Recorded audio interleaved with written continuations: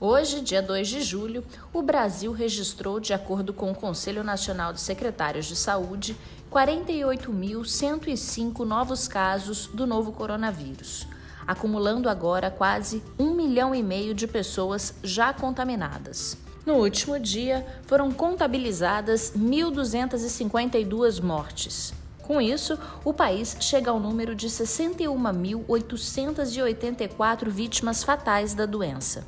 Um dia após o governador de São Paulo, João Dória, ter afirmado acreditar que o estado havia chegado ao platô da curva de contaminados, o estado bateu um novo recorde, tendo 12.244 novos casos nas últimas 24 horas. Número consideravelmente maior que o recorde antigo, que era de 9.921, registrado no dia 26 de junho. A cidade do Rio de Janeiro começou a reabrir hoje seus restaurantes, bares e academias, que estavam fechados desde março. Ontem, o prefeito Marcelo Crivella defendeu a retomada, utilizando como argumento a baixa demanda de leitos de UTIs e enfermarias do estado.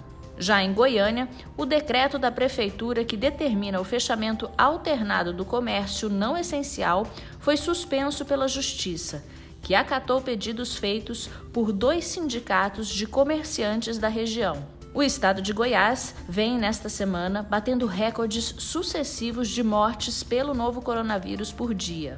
Lá fora, os Estados Unidos bateram recorde de número de contaminados, registrando cerca de 52 mil novos casos em um dia. Nova York, antigo epicentro, vem mostrando queda nos números, mas estados como o Arizona, Califórnia e Texas viram seus números dispararem.